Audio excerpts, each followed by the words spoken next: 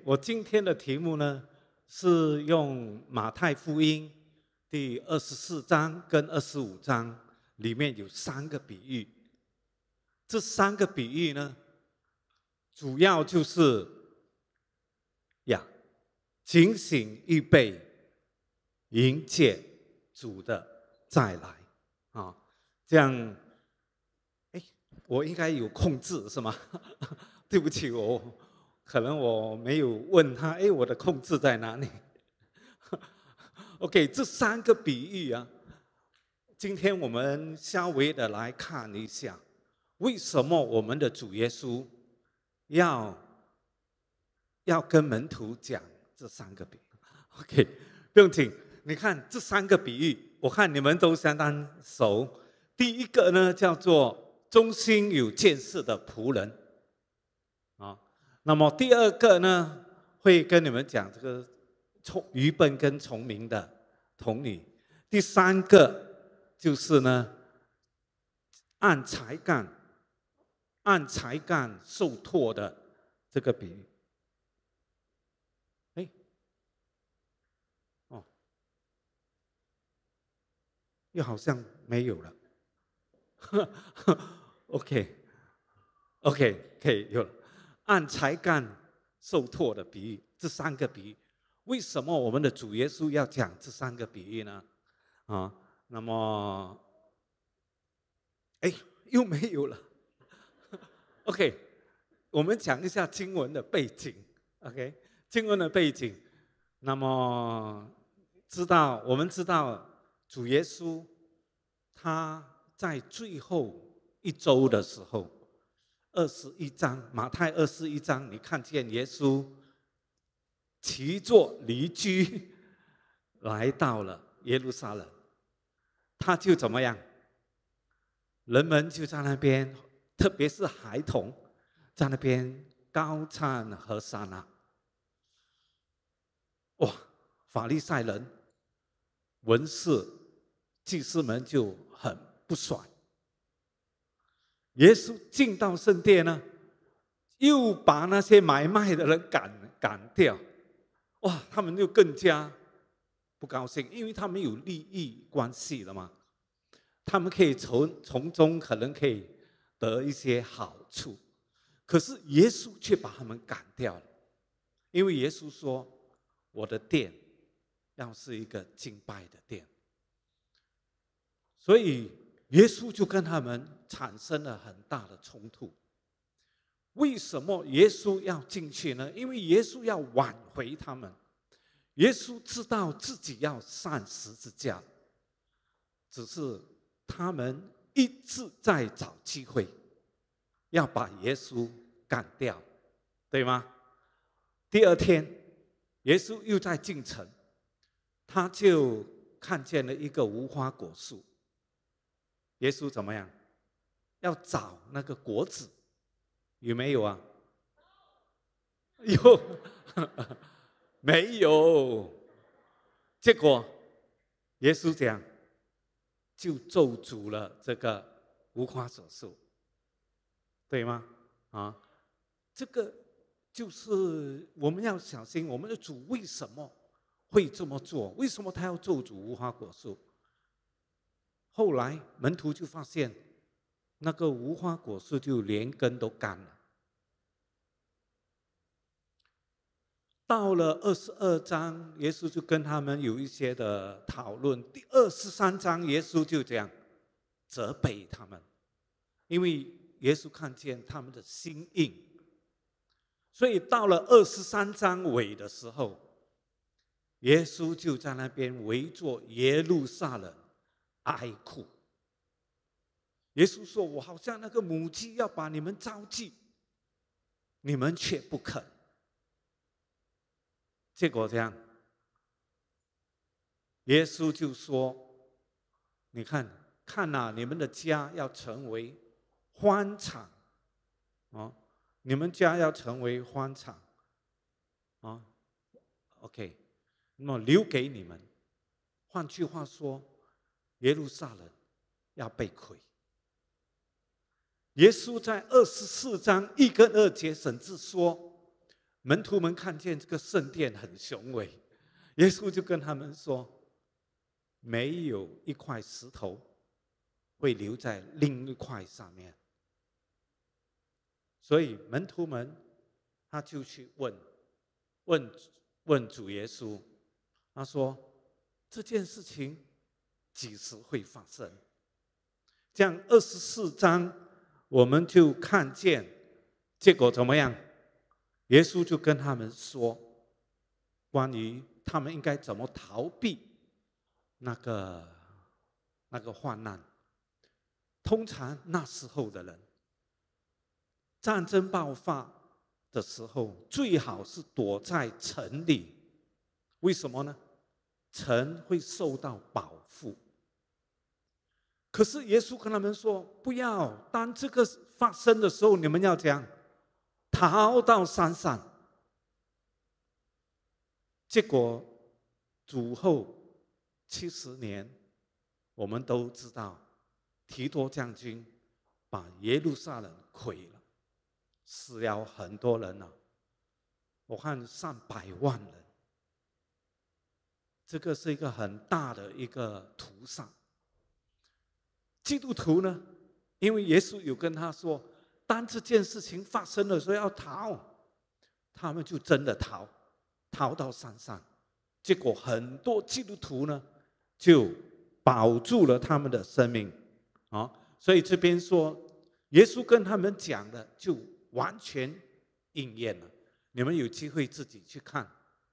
可是今天我们要看的是第二个问题，因为耶稣跟他们说，第二十三章三十九节。耶稣跟他们说：“从今以后，你们不得见我，自等到你们说奉主名来的，是应当称颂的，对吗？啊，什么意思呢？因为法利赛人、文士们这些、这一些啊，祭司们，他们一直。”不愿意接纳。当孩子们在那边高喊和刹那的时候，他们反而要把耶稣杀掉。所以耶稣说：“我不会再见到你们，一直到你们愿意悔改了，愿意说奉主名来的是应当承受。”所以门徒就问：“你降临和世界的末了有什么预兆？”门徒要知道，所以耶稣接下来呢，就跟他们讲了。我们今天很快的讲，他讲到世界会有很多的灾难，会有战争，会有饥荒，会有地震。哦，我们会看见这一些东西都一直发生。耶稣也讲什么呢？教会的发展，教会会被人迫害。基督徒会被人迫害，信心、爱心会冷淡，这个会发生的。末日的时候，基督徒之间的爱心会冷淡下来。可是有另外一个反方向的发展是什么呢？福音要广传啊，所以这个是教会的发展。那么耶稣也跟他们讲，耶路撒冷要遭难。今天耶路撒冷看起来不错，只是有一天，列国要来围攻耶路撒冷。以西结书讲的第三十八章、三十九章讲的那个战争要发生，哦，所以那就引进了。敌嫉妒，敌嫉妒要来，要在圣地，敌嫉妒要跟以色列人签约，让他们可以建圣殿。只是呢，后来敌嫉妒要自称为基督，自称为神，哦，所以以色列人就遭难。而神就会来拯救，主耶稣就会来来拯救他们，所以最后我们就看见智南关要熄灭，闪电要从东方一直发出来，啊，一直照。到西边，我们的主要降临。所以这边耶稣讲到几个预兆，啊，他会再来，并且耶稣说，讲那个日子、那个时辰，没有人知道，不可以算说哦，耶稣几时来？所以如果有人可以跟你讲，哇，他可以跟你算，耶稣几时会来？那个肯定不对了。OK，人不知道。可是耶稣说：“那日子来到，好像挪亚的日子，许多人在那边吃喝玩乐，因为他们不觉得世界末日会来到啊，所以耶稣劝告他们：你们要警醒，因为世人不觉得会发生的时候，会影响我们。”影响基督徒，所以基督徒我们要警醒。那么，耶稣也告诉他们：你们要预备，预备好，因为在好像窃贼，贼来到你的家，你不知道的，所以主耶稣来的时候，你也不能够去准备的，所以你要随时准备好。来迎接他的到来。今天的问题，什么叫做警醒？什么叫做预备？我们如何警醒？如何预备？所以在这样的一个背景下，我们的主耶稣就讲了这三个比喻，可以吗？刚才我是讲这个。为什么耶稣要讲这三个比喻？OK，我们现在就很快的来讲这三个比喻。第一个比喻，耶稣说：“谁是忠心有见识的仆人，为主人所派，管理家里的人，按时分粮给他们。”耶稣跟他们问他们，所以这里我们看到，我们每一个人都是主所派的。不要以为你来到这个教会是偶然的，是随便随便或者没有什么目的的。神把你放在这个教会是有他的目的，他要你。负起他托付你的那个责任，所以这个比喻讲到要怎么样？要管理家里的人。什么是管理？管理并不是我做老大，你们来听我，你懂意思啊？我叫你们做这个做那个，不是。什么是管理？耶稣在之前已经讲得很清楚，伟大的要服侍小的。你做管理的，其实你是在服侍其他的人。我们今天神把我们放在教会里，他有一个目的。为什么？因为他要再来，他要再来的时候，他要迎接他的心腹。我们就是他的心腹，只是我们今天准备好了吗？可能还没有，可能我们还在最终挣扎，我们可能还在跟肉体打架，我们我们还没有准备好，所以神分派我们每一个人做肢体的，我们要彼此用爱来服侍。我们要彼此关怀，以致我们建立起彼此建立，成为神的灵工。所以耶稣再来的时候，他要迎接他的教会。只是我告诉你，今天有很多人没有这样去准备，他们以为我们只是等耶稣再来。没有耶稣，为什么没有再来？当然，外邦人的人数还没有填满。第二点，他的教会还没有准备好，所以神要我们管理我们家里的人，每一个人要尽你的本分，用爱来关怀。这个这个管理啊，在原文有这个医治的意味。很奇怪，其实我们许多人，包括我自己，我们都需要得到医治。我们常常都是有很多病痛的，可能不是肉体的病痛，我们属灵上面，我们需要得到医治。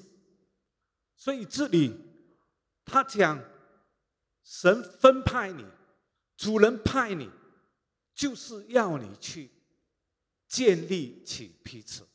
所以今天可能神给你的托付，可能并不是在讲台，可能并不是做一些大家看得到的，可能是别人没有看到的，却是主所托付你。可能就是另外一位弟兄或者姐妹，主要你来帮帮助他。医治他，他需要你去服侍他，哦，所以我们要知道，这一个要管理，按时分粮给他们。为什么？我们需要长大，哦，不，我们不可以一直都在喝奶。你看，我我有，我现在雇一个孙儿，感谢主，我的孙儿他成长的非常好。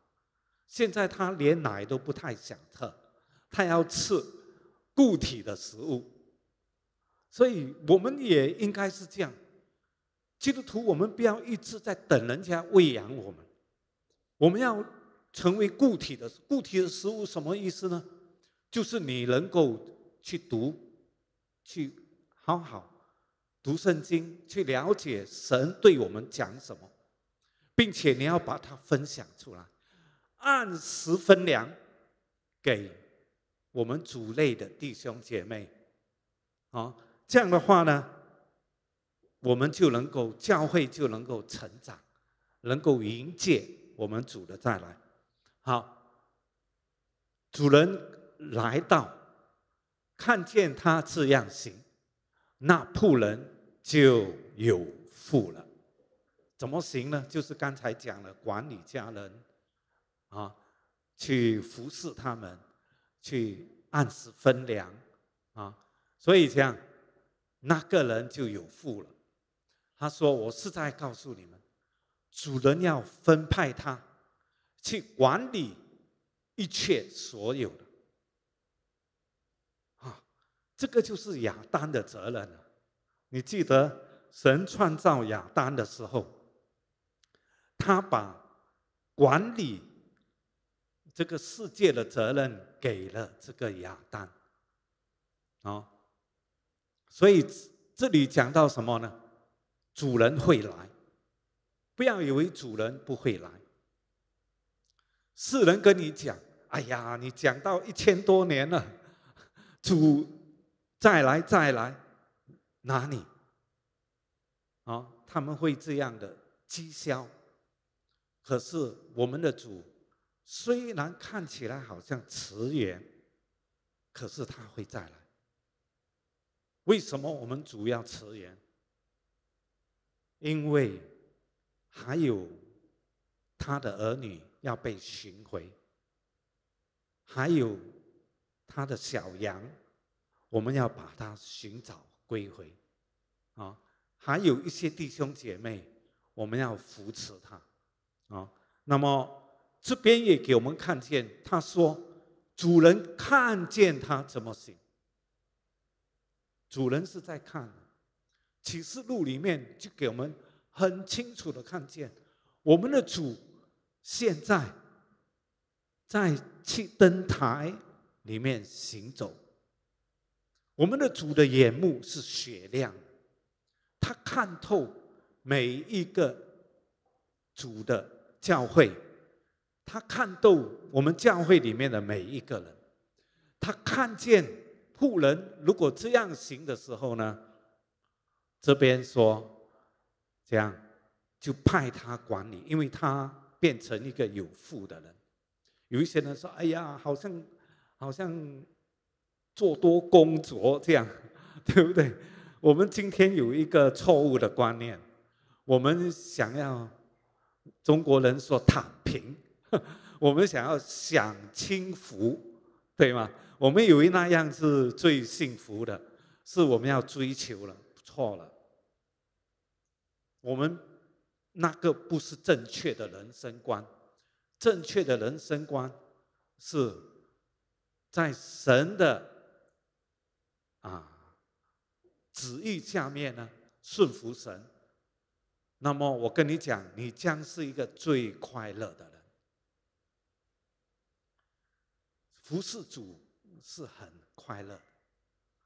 哦，所以那个祷告站，如果神感动你来，哦，在那边服侍人，这个是很好的。当你这样服侍的时候，我跟你讲，最得意的是你自己。啊，我们我一样一样的，我不管是在教导方面，在分享，在服侍人方面，当你服侍人的时候，最得意的是你自己。哦，所以感谢主，我们主人要分派他管理。OK，所以这边说散落，那恶仆人心里说。哎呀，主人必来的迟，他以为主人还没有来，所以他就这样，这边说，他就动手打他的同伴，什么意思呢？不是，可能不是真正的打了，可是这样，就是敷衍他，可能就是不去服侍他，啊，打他的同伴。又跟酒醉的人一同吃喝，是不是这样啊？我们当中可能有一些人是这样，我们觉得很好啊，我可以在世界里面，我们很高兴，我们我们特别是神很祝福我们新加坡、马来西亚，啊，我们有相对舒适的生活。所以我们就在边跟酒醉的人吃喝玩乐，我们忽略了我们的主给我们的托付。我再讲一遍，这个托付是给每一个人，不要以为这个托付是给牧师的，这托付是给全世界工作的人的，不是的，这个托付是给每一个人，因为也。保罗的教导很清楚的，每一个肢体都有用的，对不对呀？你你的肢体哪一个没有用，可以把它不用的？没有的，我们就是一个身体，我们每一个人都有一个功用的，所以我们一定要完成主托付给我们。OK，所以这样，主人。想不到的日子，他说主人就来了，啊，那么那个主人来的时候讲，要重重的处置这个恶的仆人。这边讲什么？把他斩妖啊！我们有一个错误的观念，有一些人以为信主了。我就可以得救了，对吗？信主了，我就可以上天堂了，啊，不用紧，服侍不服侍呢？只是决定你有没有奖赏，有没有听到这样的教教导？不是的，我跟你讲，这个是不对的。你看这个比喻很清楚的，这个仆人他在那边作乐，他在那边没有。顺从主的吩咐，去管理家里的人，去服侍其他的弟兄姐妹。主人来要讲，把他腰斩，定他为假冒为善的人同罪。为什么表面上他好像是一个基督徒，只他没有没有顺从他的主人，就是我们的基督。所以我们要审查我们自己，今天我们的主是谁？还是你自己？还是主人？还是你已经把你的主权交给了？我们的主耶稣，啊，所以这个比喻告诉我们，什么是警醒，什么是准备呢？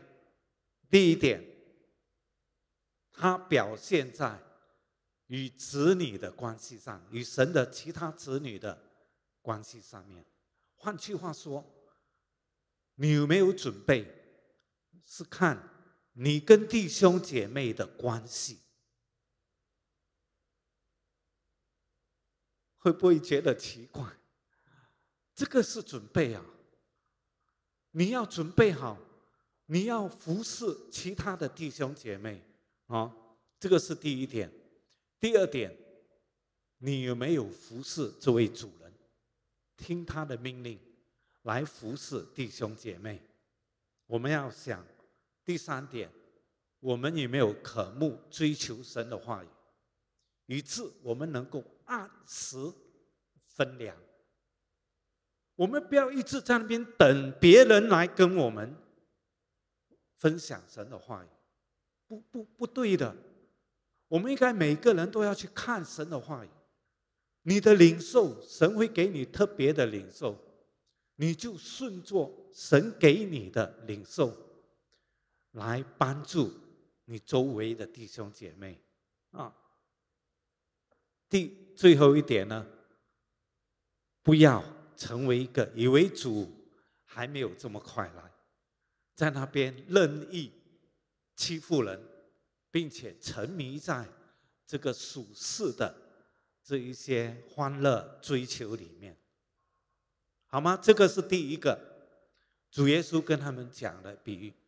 第二个比喻，聪明童女的比，这个你们很熟。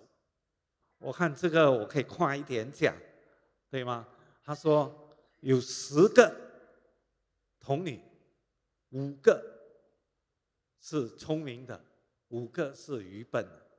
聪明的怎么样呢？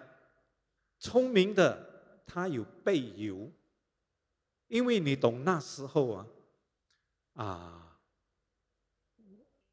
那是的婚宴呢，新郎要去新娘的家娶了新娘，要走街的，要去探访他的亲人，所以有时候会久单延了一下子，才会回来新郎的家。回到新郎的家呢，才有一个婚宴。他们那时候是这样，所以。这个十个童女呢，当然我们看不出谁是聪明，谁是愚拙。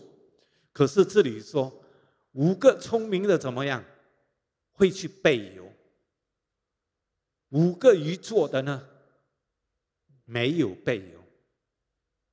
结果呢，他们都累了，他们都打盹睡觉。可是这时候怎样？新郎。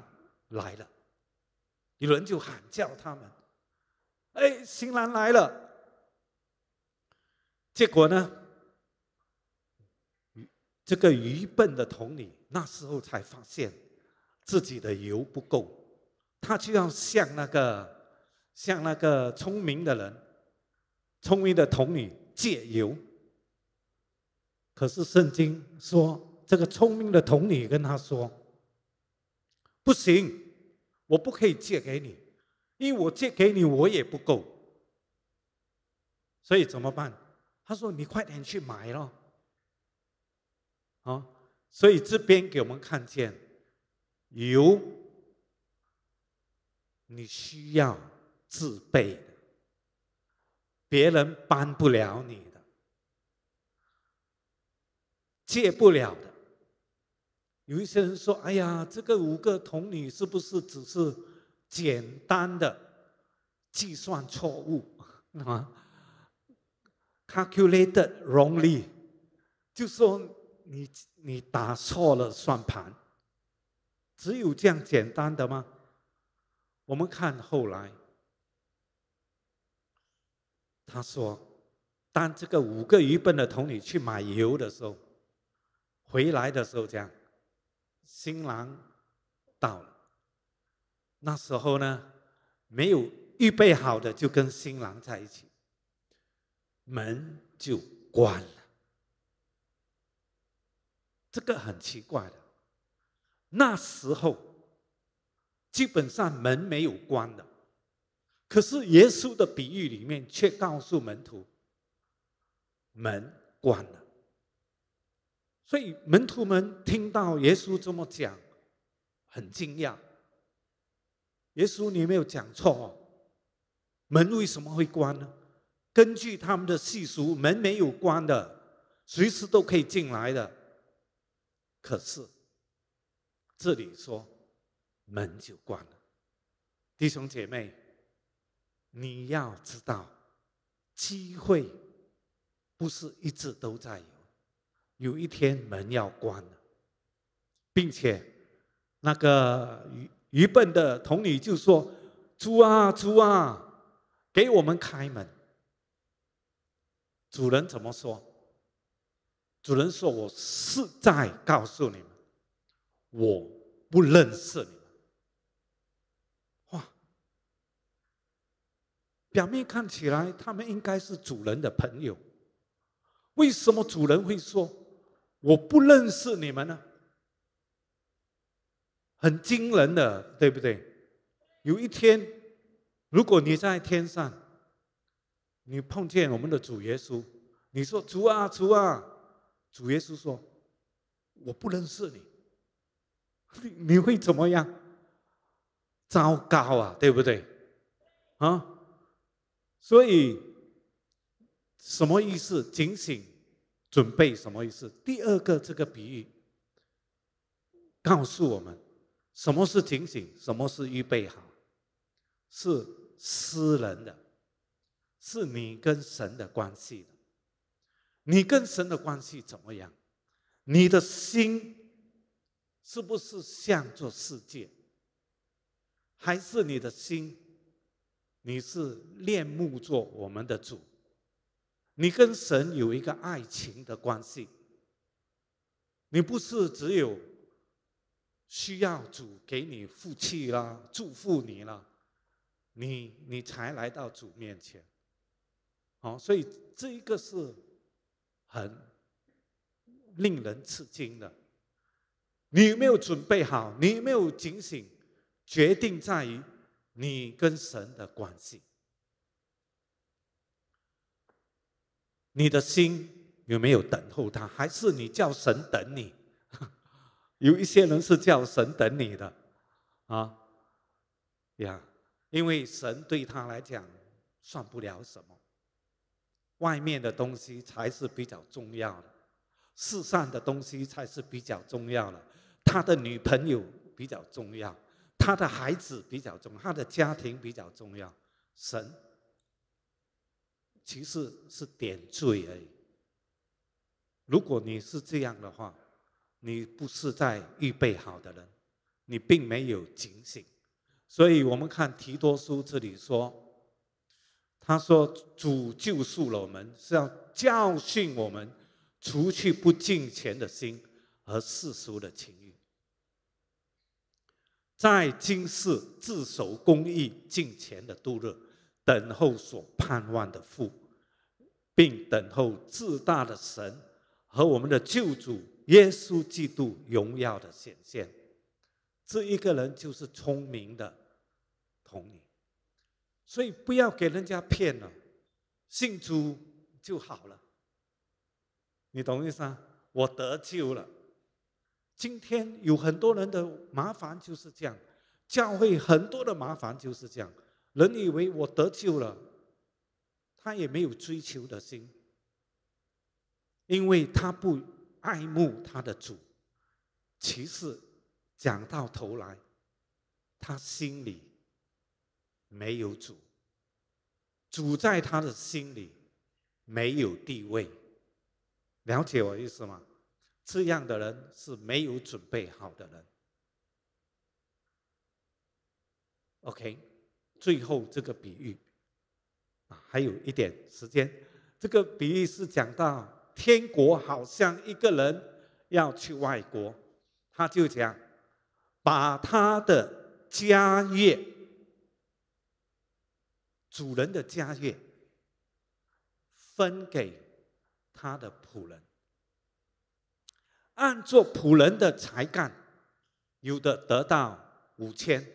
有的得到两千，有的得到一千。你可能会觉得一千好像很少，其实不少。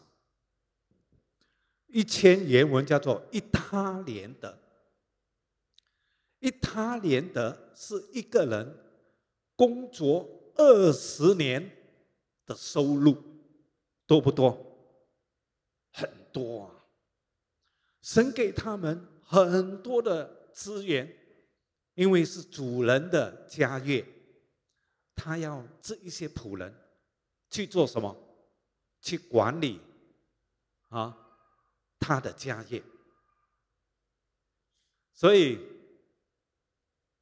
这个良善忠心的仆人呢，听完主人的吩咐，他们就去，立刻就出去了，五千的。赚回五千，两千的也赚回两千，可是却有一个讲，一个又懒又饿的，对不对？我们这个同样的这个两千，哦，主人也同样赞赏他。你注意看这个比喻，五千的人得到的赞赏。跟两千的得到的赞赏是一模一样的，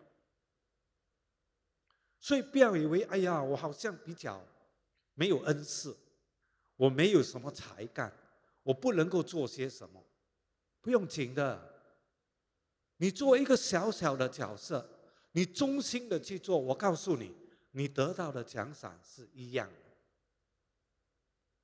可是有一个什么？又懒又饿的，啊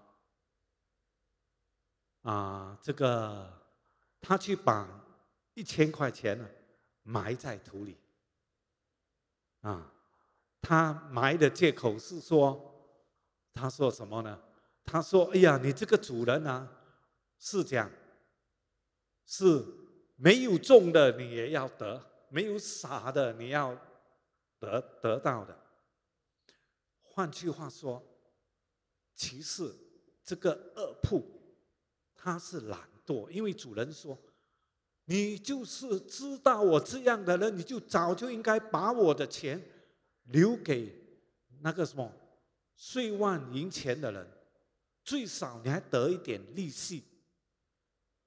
你连这个东西都不做啊！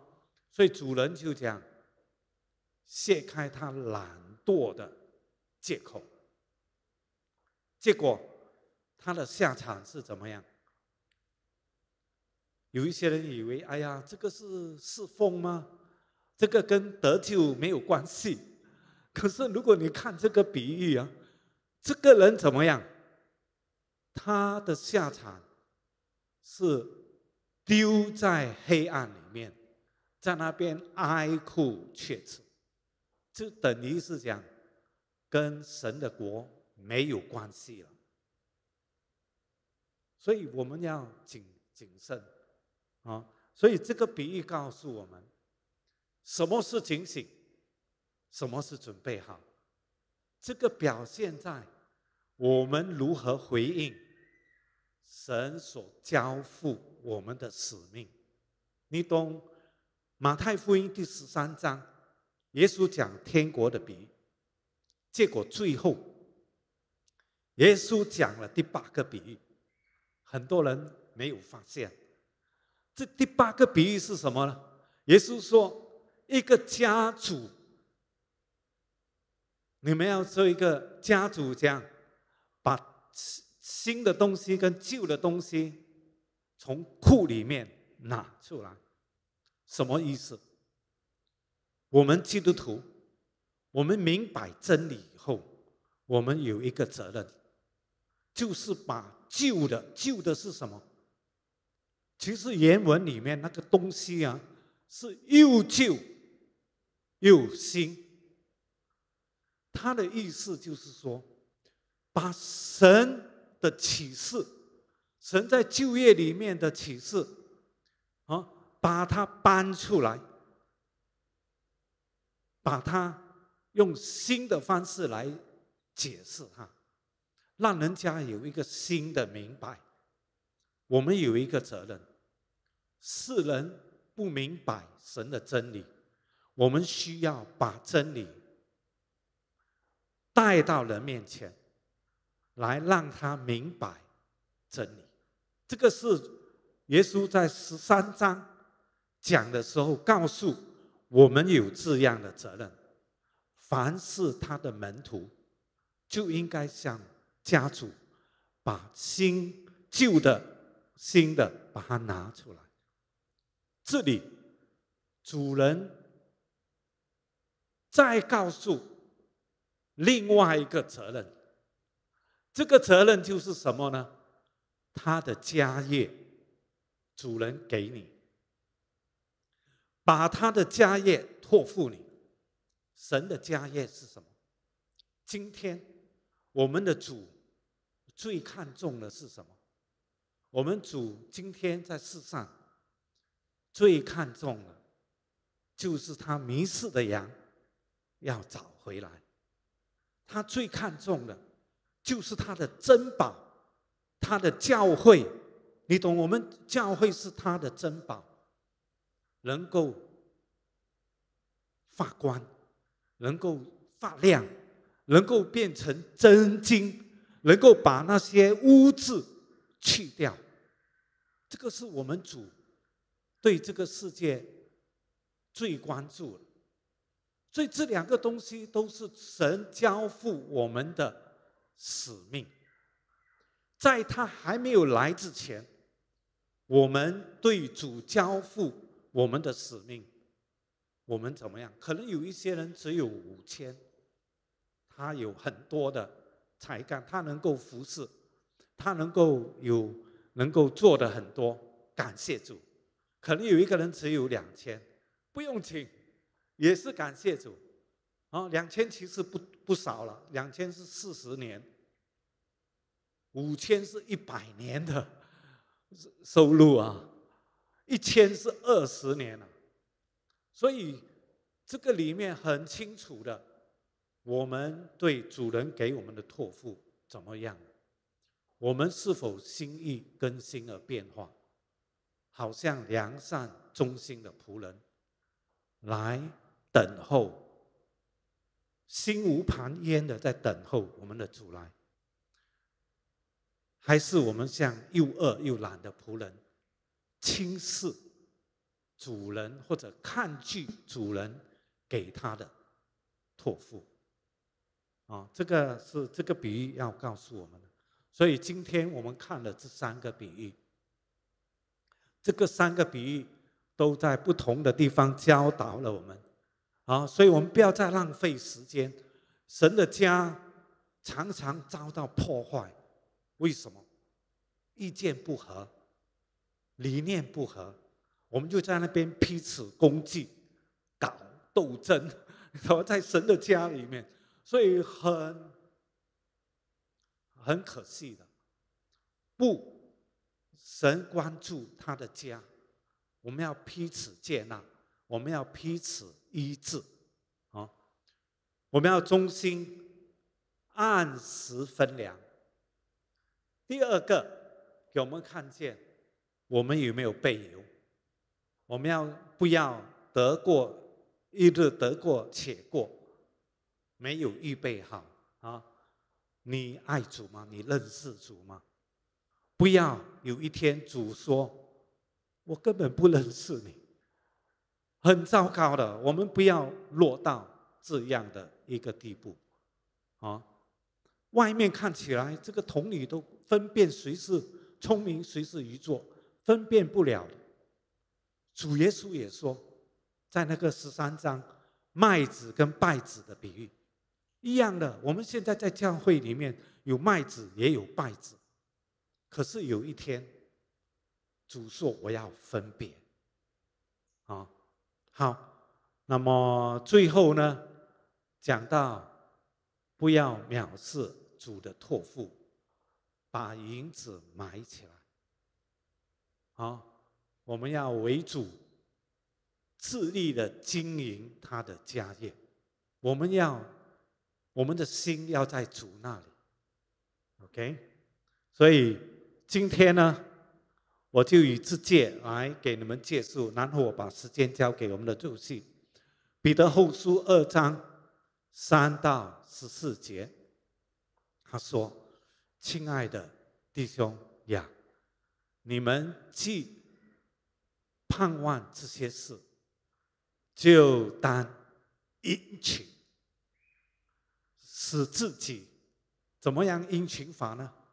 使自己没有沾污，无可指责，安然见主。